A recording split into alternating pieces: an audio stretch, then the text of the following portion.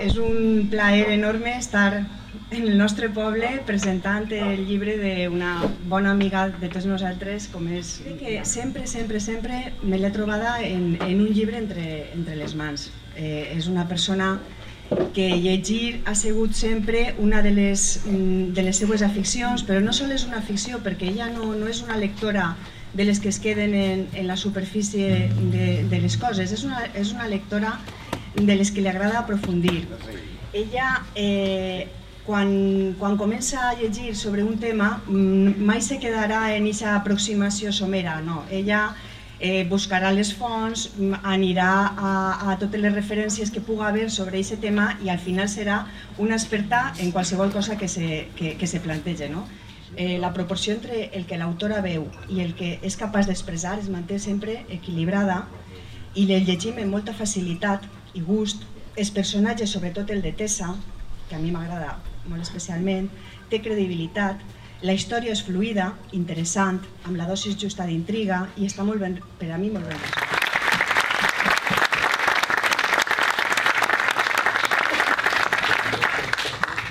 Bueno, antes que res, donar-li les gràcies a Marina per aquestes paraules tan carinyoses que demostren que efectivament és, és amiga meva des de fa molt de temps i sempre té coses boniques que dir sobre mi. I bueno, donar-vos les gràcies a tots per haver vingut així a acompanyar-me avui en un dia que per a mi és prou important perquè és presentar en el meu poble la, la meva primera novel·la.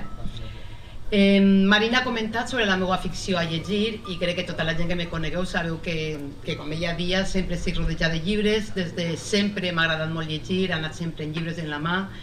y entonces el fet de, de, intentar cruzar la línea entre de ser una lectora a pasar a intentar ser una escritora pues era algo que no, que no resulta massa sorprenent. Crec que la gent del meu entorn, quan es vaig dir que estava escrivint una novel·la o quan es vaig dir que l'havia escrit, perquè al principi ho vaig portar un poc en, en secret, possiblement perquè tenia un poc de, de vergonya de no saber molt bé com hi seria l'intent, pues va ser algo que no, que no va sorprendre massa. Eh, en quin punt vaig decidir a començar a, a escriure? La veritat és que jo no tinc massa clar quan va ser el dia en concret que vaig dir vaig escriure jo crec que part de la culpa va ser de la, de la maldita crisi que ens porta tots de cap.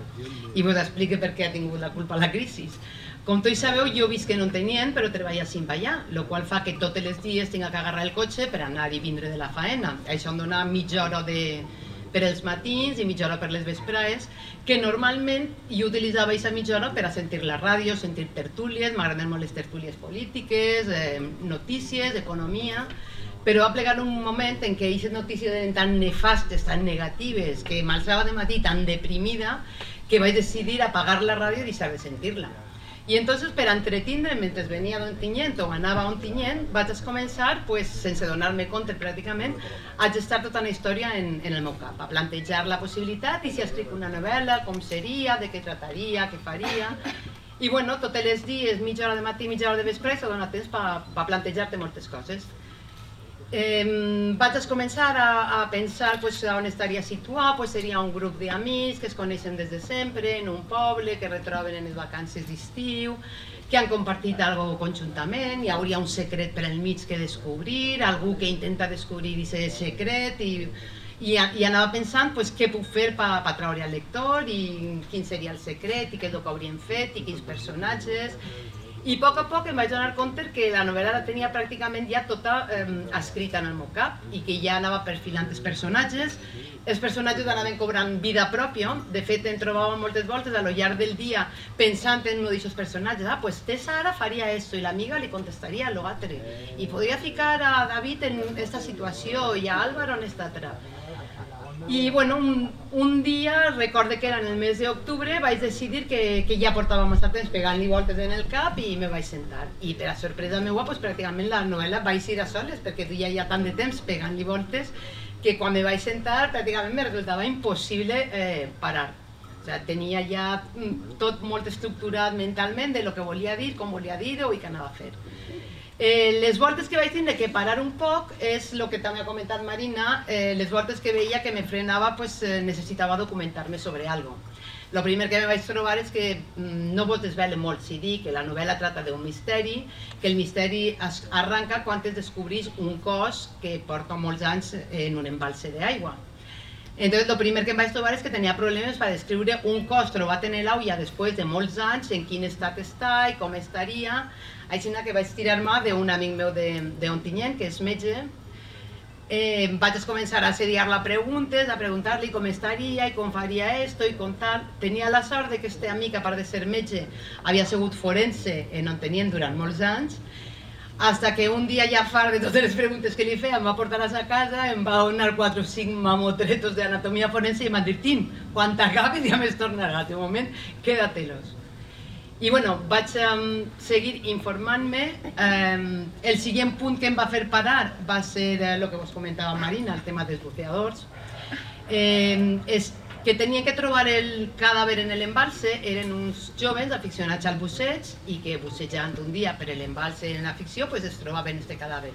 Però, claro, quan me vaig sentar a escriure una escena de busseig, jo que li tinc por a l'aulla i que no entre mai en l'aulla més allà del genoll, pues me resultava molt difícil d'escriure una escena de busseig. Entonces me vaig clavar en un foro d'internet, en un foro de buceadors, vaig contactar en un grup de gent que, a la meva sorpresa, van resultar sent gent super encantadora, amabilíssims, eh, es van oferir a donar-me tot tipus d'ajuda, em van dir com es dia tot lo de l'equip que duen, el regulador, les botelles, la profunditat que n'hi havia que baixar, que pujar, el que es podia veure en un embalse, no havia dolça, no havia salà... Bueno, es van involucrar fins al punt que en una de les seues trobades que van fer en Madrid em van convidar perquè anara. I em vaig ajuntar allí en 40 buceadors i jo, que me diuen que era la intrusa, van intentar convèncer perquè va fer el bautismo de agua que diuen ells, el que passa que encara no ho han aconseguit. Fa un rato he rebut un missatge d'un grup d'ells dient-me que no podien vindre per acompanyar-me, però que continuen esperant que algun dia faci el bateix d'aigua. Que crec que continuaran esperant una temporada.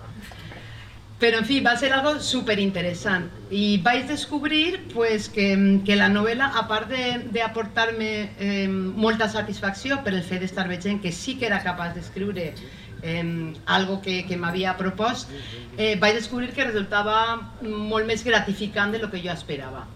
Eh, m'ho passava molt bé eh, quan m'assentava a escriure, m'ho passava molt bé planificant coses per pa, els meus personatges. Vaig descobrir algo que ho havia sentit dir a molts escriptors moltes voltes, però que en aquest moment vaig entendre a què es referien, i és que els personatges moltes voltes agarren vida pròpia. O sigui, n'hi ha personatges als que jo pensava fer que foren un mero personatge secundari, com és el cas d'Irene, que era l'amiga de la protagonista, però que només tenia que estar ahí per aguantar-li eh, els ratells de Plorera, i Irene es va revelar, no volia ser una segunda dona i vas començar a agarrar molta més personalitat i molt més protagonisme i acaba sent una de, no la protagonista, però un dels personatges importants de la novel·la. En canvi, altres personatges que jo pretenia que tingueren molt de protagonisme, pues, bueno, van resultar sent personatges totalment grisos i, i opacos i que pràcticament no tenien cap d'importància. I quan es va acabar la novel·la, de fet, a dos d'ells es vaig refundir en uno. Vaig dir, així sobren massa perquè per ser tan poca cosa es vaig convertir en, en un únic personatge. I va ser una sorpresa també mmm, descobrir que, que, bueno, que, la, que la novel·la en el moment en què, en què tu plasmes algo per escrit pues, comença a agarrar vida pròpia i no sé qui és el que ho ha dit, però sé que n'hi ha algun autor que ha comentat que en el moment en què un acaba d'escriure un llibre, pues el llibre deixa de ser d'ell i forma part ja de, dels lectors. Pues jo espero que, que en la meva novel·la ocorrisca el mateix, que aquells que vos apetís que tingueu interès en llegir-la, que aquesta novel·la deixi de ser meua i que passi a ser un poc part vostra. I espero que la disfruteu. Gràcies.